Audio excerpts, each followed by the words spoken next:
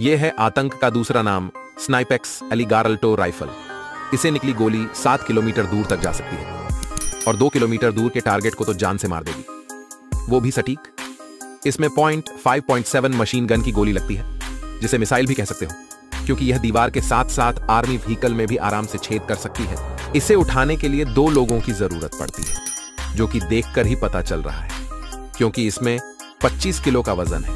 इसीलिए इसे ज़मीन पर रखकर चलाया जाता है। और इसकी टोटल लंबाई है साढ़े से फीट जो कि इस दुनिया की सबसे लंबी और खतरनाक स्नाइपर राइफल बनाता है।